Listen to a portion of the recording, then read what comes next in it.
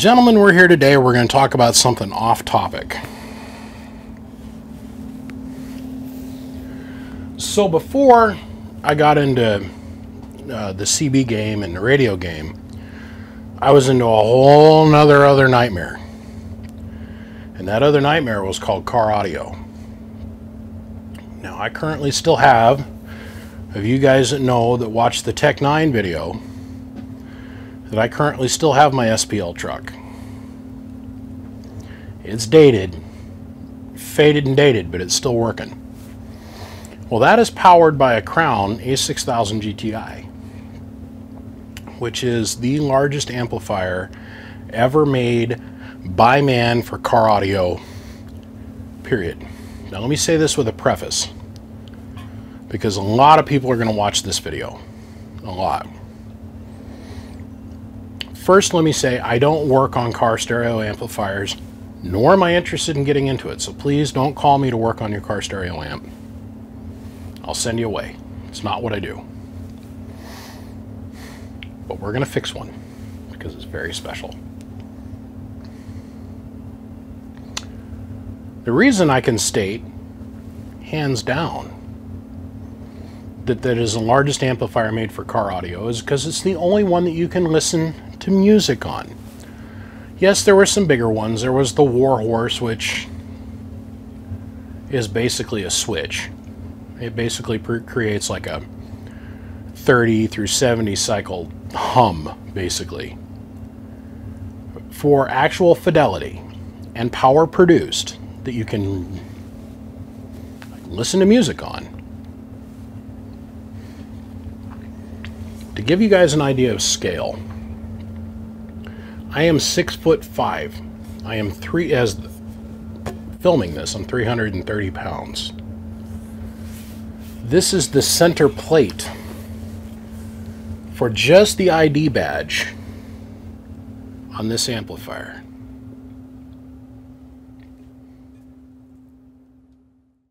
Now the reason that I got to show you the ID badge is to give you guys an idea of scale. Okay.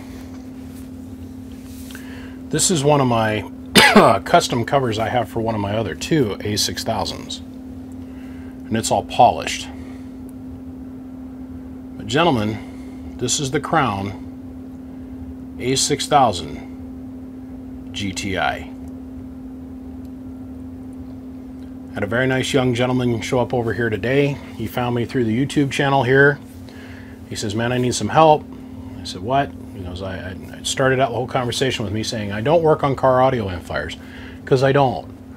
It's not that I don't know how, it's I don't want to. I'm perfectly happy working on my amplifier stuff for radio. He goes, but I got a Crown A6000 GTI. And I was like, well, I'll make time for that. this is the unicorn of all unicorn amplifiers. I have two of these. I have one in a crate directly from Crown that long story short I I used to have a show truck. I, I did the whole car audio scene and I had the one that I was using and then I had a backup.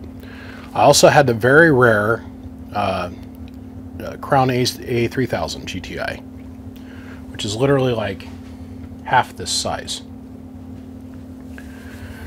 To give you guys an idea of scale now I got to be careful what I do with this because remember there's over 200 plus volts in the final section of this thing it's a big bitch. Okay, this is a big amplifier. Big. And the reason we have it all apart, because this nice this nice kid Joseph, he bought this in a storage locker thing out of Nevada someplace, and it was a display piece in a car audio store. It closed, and this was one of the pieces they threw in the storage unit, and he ended up buying the storage unit locker and he was running it and he heard a loud pop and then it shut down. Well, he let it sit for a couple days and then he changed the fuse out on it. And by the way, the fuses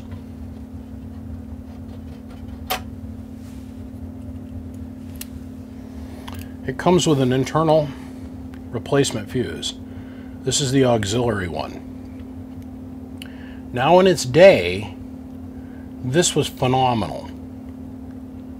It has an internal hard break fuse that is ceramic at 400 amps. When this came out in the car audio industry, nobody, nobody's was doing anything like this. Nobody's. I can vouch for this because my good personal friend and the gentleman that lives right down the road from me, his name is Mark Young.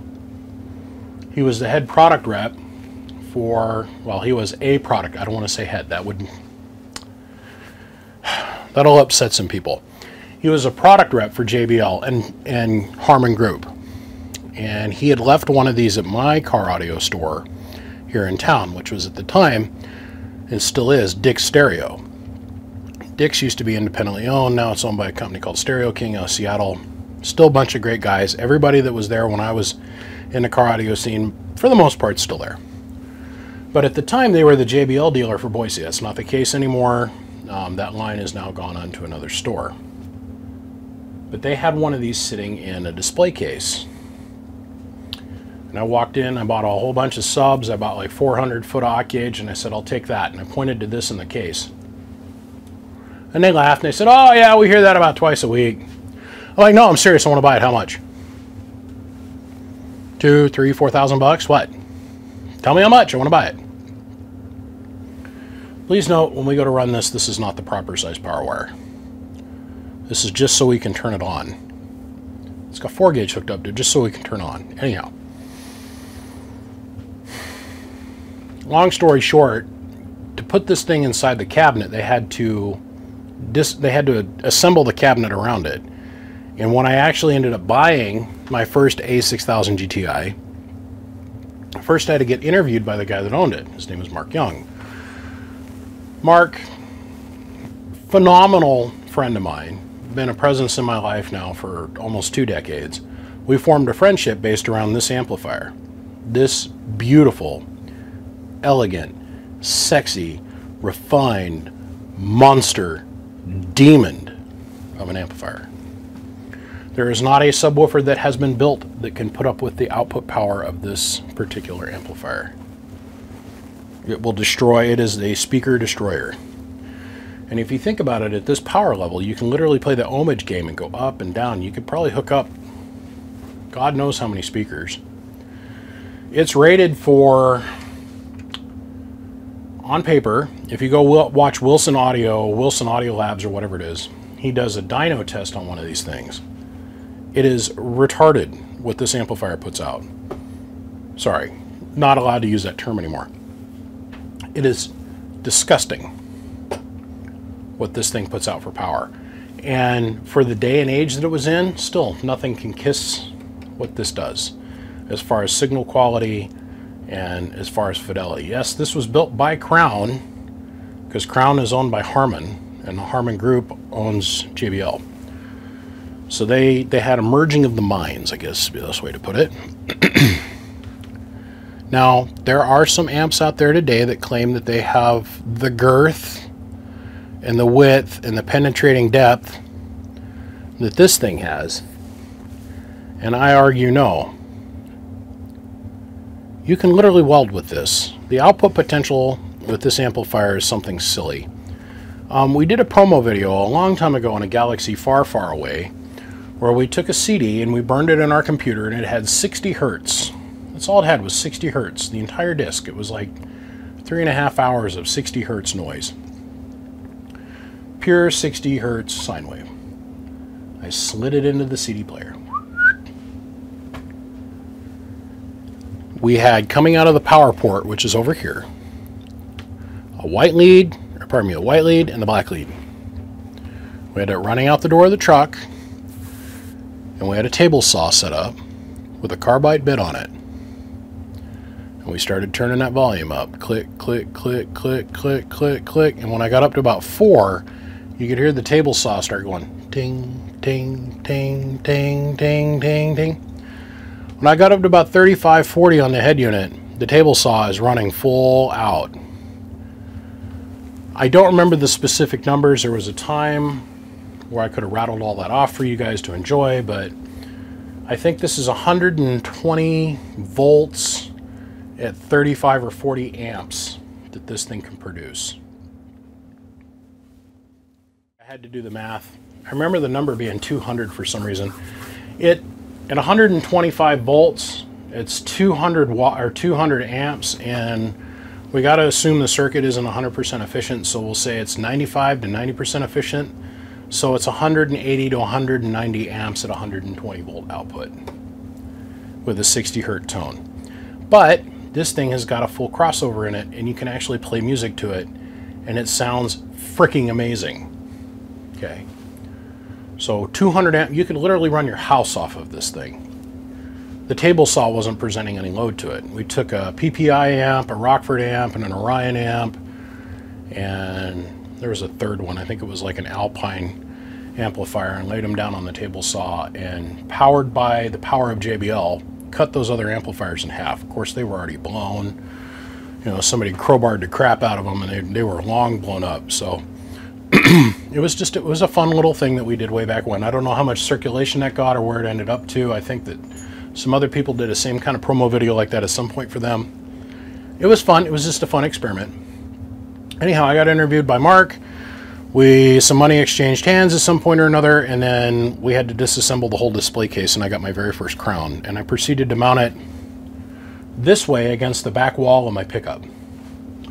So the amp mounted vertically and not horizontally flat. It made it four weeks. And the toroid slipped and shorted out some shit, and it was like a lightning explosion that went on on the inside of the box. I know it doesn't look like it, but we have it in reverse. Normally we'd start with the amp all together and strip it all the way down. Well, today I had to take it all the way apart just to figure out what we had to work with. The toroid slipped, and it destroyed the whole amplifier. Well, if I'm not mistaken, that amplifier was a pre-pre-pre-production. The one I ended up with, well, when I called and I got an RA, and I'm not going to drop any of the names of the people that I was dealing with then, but uh, I called and I got an RA and I drop shipped it back. Well, this is when I found out the guys, the engineers at Crown, were a little bit tight. And let me explain to you what I mean by a little bit tight. They explained to me on the phone that for me to return this, it needed to come back in a wood crate. Well, at the time, I'm, I'm working with a stereo shop, so guess what? MDF is my, my jam, man. We took off and we went in the back. We got ourselves some quarter inch thick, whatever, whatever, and we started cutting stuff and we built ourselves a casket. A casket. We sent the thing back in a giant black casket. It was a straight up coffin. It even, I, dude, I went to Home Depot and I got piano hinge for it, and it opened like a casket. We had 8 gauge wire coming out of the sides of the boxes for handles, so you could have four people carry it. Now this box, this amp weighs about 80 something pounds, 88 pounds I do believe. I remember spewing that number off a lot when I was a kid. It weighs probably 65 pounds without all the body armor on it, which are massive and big and they look like this. This is a piece of cast aluminum beautifulness. And I think Gary or one of the crazy bastards over there polished these way back when. This is extra body pieces I have from stuff you acquire over the years. We built a casket to put this thing in. We dynomatted the bottom for it to sit on. And you hold this thing down with some giant ass bolts. I mean, we're talking bolts, not drywall screws, we're talking bolts. So we bolt this thing inside this casket. We go out and we get red, like crushed velour, you know, like felt or whatever, lining inside the casket with, of course, batting material behind it, pillowed it out in the whole nine yards. Same thing with the lid. Now, as a joke, this was a joke. I took a cigarette plug adapter and I took the negative and the positive wire and I hooked it up and then the shittiest RCA cables I could find, plugged them in over here and literally cut them about two feet from the amplifier. So the cigarette plug adapter hanging out this side. And on the center of the body, I put a note for the Crown engineers because they wanted to look at it and evaluate what failed. Okay. The note says, removed as installed. I have no clue why the amplifier failed. Please let me know with my phone number. So, off to UPS we go. 300 plus dollars in shipping later, and this is in, oh, 2000s ish. Like 2002, 2003. Uh, the birth date on this one, by the way, is 2003. So off it goes. About two weeks later, I call because I never heard anything from them. So I'm not going once again I'm not going to mention the name of the guy that called me back, but he called me back and he was the engineer. He goes, "Man, we got your amplifier here, and we um, we opened up the crate. Please note we painted the casket black, by the way, and then like stenciled JBL rest in peace on the side. I mean, we did it up right. I mean, like we did it right. You know what I'm talking about? Even had the twist lock hinges on the sides. I mean, it was. I mean, it was perfect. Um, we opened your crate, sir, and um, please, please tell me that this is not how you had it professionally installed. Man, I about fell out my chair laughing. I was driving, man. I about fell over laughing because he was as serious as like a New York heart attack. I was like, oh my God, okay. These are not the kind of guys that I hang around with all day long. Remember, my entire social network at this time revolved around stereo guys, which, let's face it, are a bunch of, well, pot smoking, beer drinking, fried food eating, fun loving, you know, wet t shirt contest having. I can't remember. No, I'm not, no, I'm not talking about the installers. We're talking about their old ladies. But you get them drunk enough, I wouldn't put it past them to get a wet t shirt contest going on between them. I digress. Moving on. I ended up getting another uh, 6000 They just pulled it from the shelf and sent it to me. I ended up purchasing another one, so if I had a problem with the one I currently had, because my entire system was based around this giant bastard, um, I could pull it, drop ship it off for repair, and then I could drop another one in its place. And nobody ever knew. I never even told anybody. It's like, not telling nobody shit. I just wanted to make it so that I was never down. Little did I know going forward in the future that would pay off in the RF world, um, the tow world, the gun world, everything else I've ever been involved in. One is none, two is one, and three is even better if it can be brought by another person. Back to Joseph, being the third person, bringing another one. He said that he was running this thing and it was running great until it popped. And he heard a loud pop. And he goes, Man, I looked all over this thing and I cannot find what caused the noise. And he goes, I'm a little leery to power it up, but I'm more interested in seeing if it works so I can sell it. Now, he had a price in his mind, and I said, okay, that's a decent price. If it works. Well, we bring it over here, and we didn't power it up. We just, I took all the cages on it. There's three layers of compartmentalization to this thing. There's a completely RF shielded cage that goes around this amp section. And I am yet to determine in my mind if that's to keep the noise out or to keep the noise in. Because when I had this in my truck, which I still have, when you turn this caramba. on, it creates so much electrical noise, RF wise, that it'll wipe out the receive in your CB radio and your ham radio just from pure noise. Amount of voltage. Once again, not allowed to use that word. There's some crazy amount of, and please forgive me. Please forgive me. There's some crazy amount of RF switching that, or power switching that takes place here. Now, we're going to do a deep dive. I'm taking this on as a personal challenge. Okay? We're going to dive inside this amplifier like none of you guys have ever experienced before. We're going to go find, because I just happen to know all of these dudes. I made some phone calls already this evening. One of the really close dudes that I right down the street. I've got the connections to know the people that know the people that built this. Well, In my opinion, this is like the SR71 of the stereo world. It really is. It's one of these things that just flies so high and so fast, and it's like Icarus. It touches the sun and then catches on fire and disappears. No one's going to go and hit this level. So we need to document that stuff before all those guys are lost to the wind and it can be out there forever. So we got over here and we started looking at it. And sure enough, the bane of every amplifier repair builder on the face of this earth is what? I have a friend of mine. And every day on Facebook, see, I, I don't repair car audio amplifiers because I know lots of people that do. But I got one friend of mine. His name's Kevin, and we're not going to say anything more about him. He is a brilliant young man. He's like me. He's just homeschool driven smart MF, right?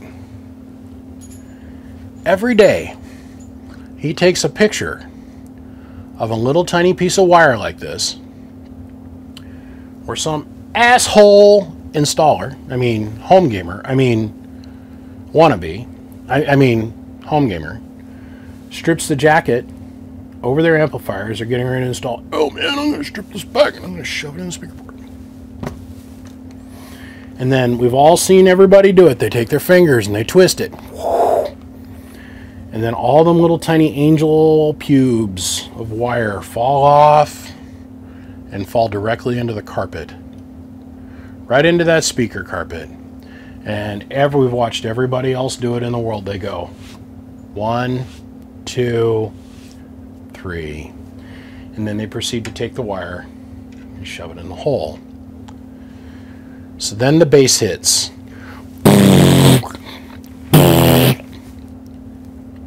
And that stuff just floats around. Well, every day Kevin puts up some new picture, some sundown, some whatever, whatever, some DB, some, some, some, some, and some, some, some or other. And he goes, daily reminder, boys. Just your daily reminder. And it's a close up, like if we were to take one of these circuit boards. Now I got to be careful where I stick my fingers because there's 200 plus volts in this thing. Just remember, boys, don't strip the wire near your amplifier and then the whole board's burn up around that one wire. I am not saying that this young man, Joseph, that came here today, I think that this predates him.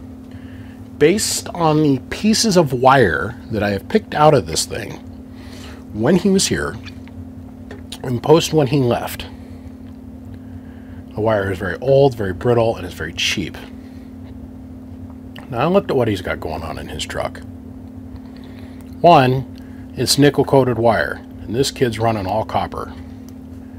I don't think that he's the one that did this, that caused this thing to fail. But this amplifier has failed. Now, he goes, but it turned on. Well, let me break it down for you. Oh, and by the way, when this thing starts, it is a symphony of sound. Listen to this beautifulness. Ready?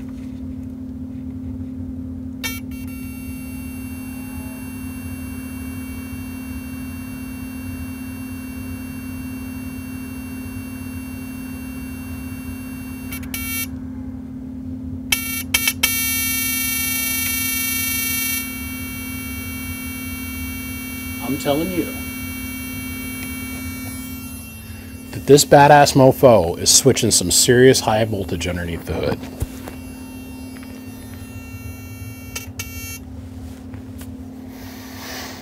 It does turn on. He said he was playing music with it, but he wasn't pushing it too hard, and I'm glad he didn't because he came this close to the sun like Icarus, but he didn't burn his pecker off. Now, I wanted to run this thing, and that's probably the last time I'm going to power this thing up for a while. Because from this point forward, it's coming apart. There are a couple different things that we want to do here. First, I got to vacuum it. And I got to go over it very carefully with a little tiny brush everywhere. And as I'm vacuuming, I got to go, okay. to catch any, you don't want to blow air into this situation. It's just going to cause more damage. Remember, don't strip your wires near your amplifier. If there is more wire floating around on the inside of this thing, we are going to continue to have stuff fail. Well, your first thing is, well, let's blow it out. Well, then all you're doing is pushing the wire farther into the circuitry. So we're going to give it a good snort before we go much further. But I want to show you guys what failed first. Can you guys see it?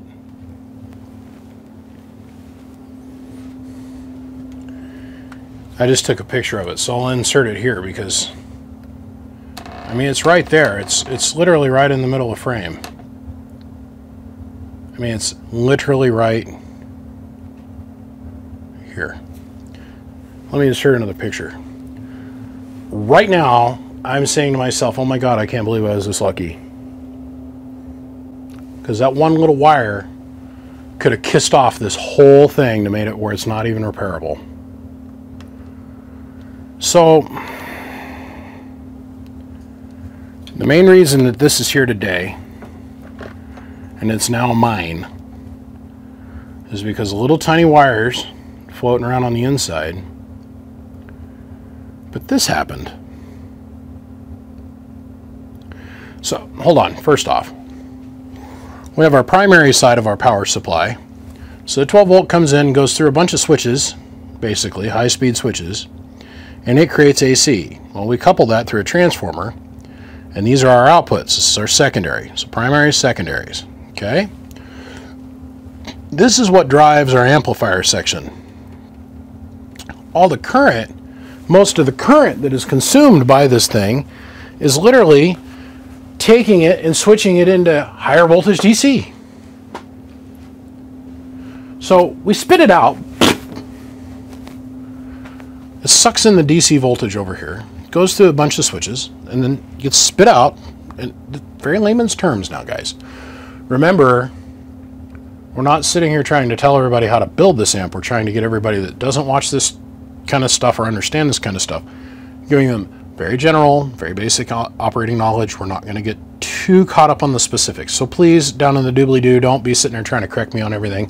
I know, I've been there, I've done it, I got the t-shirt trying to make it for the average Joe so they can understand how this works. Goes through a bunch of switches, hence the reason the, the total ring of 12 volt distribution, which is amazing to me, by the way. A 12 volt current comes in, goes through our fuse, goes to our distribution ring.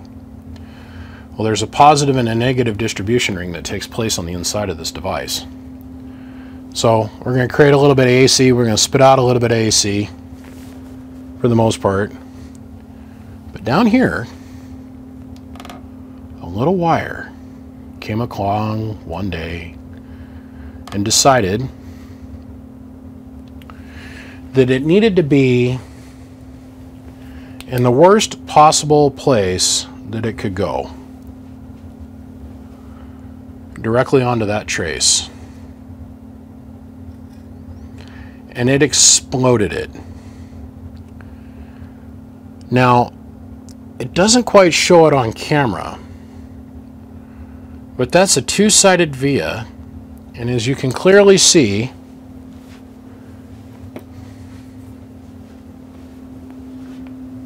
this is what has happened. On the one trace, the one that's closest to the camera, this is our via pad, and our wire is going down into the pass-through via pad like this.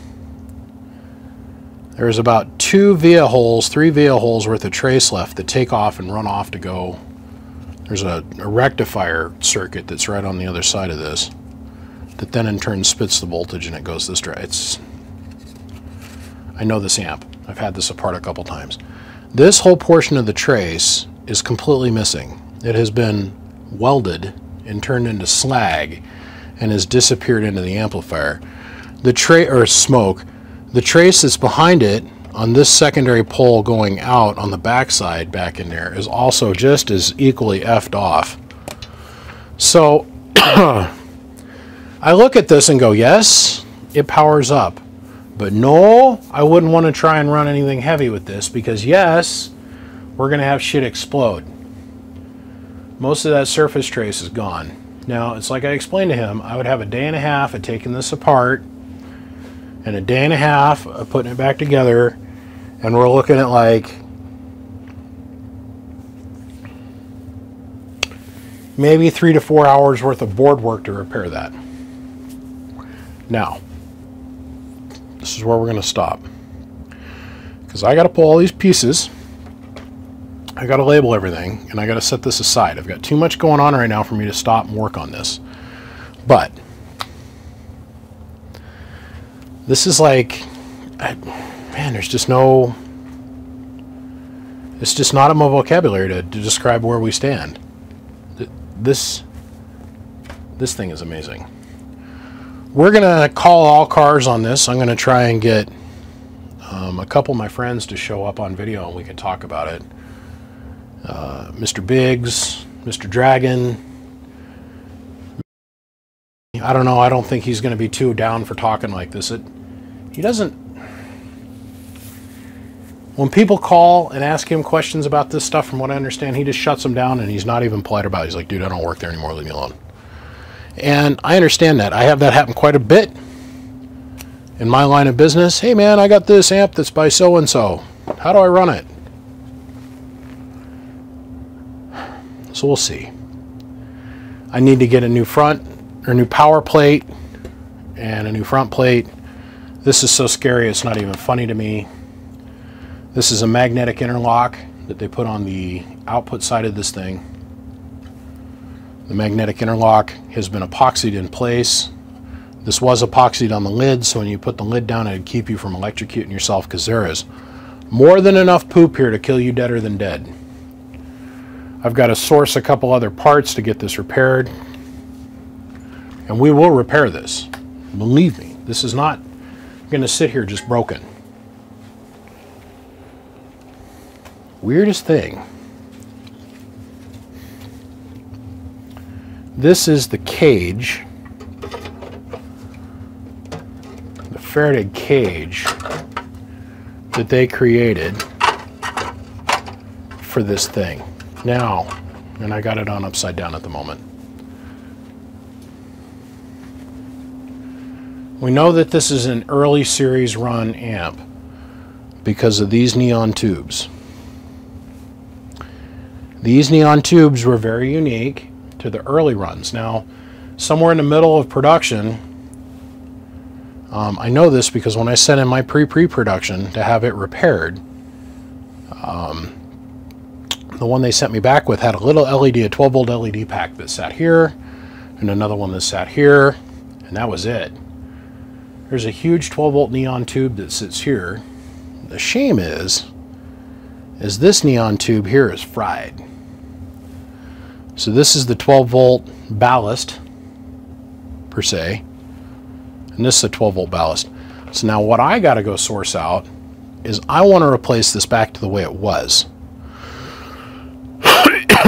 Me and an OG originalist, I want to put this back the way it was.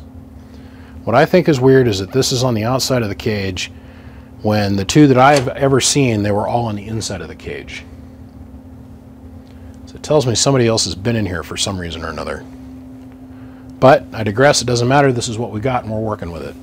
So, gentlemen, this is part one. This is the pre pre preamble to the whole story. We're going to turn this into a series.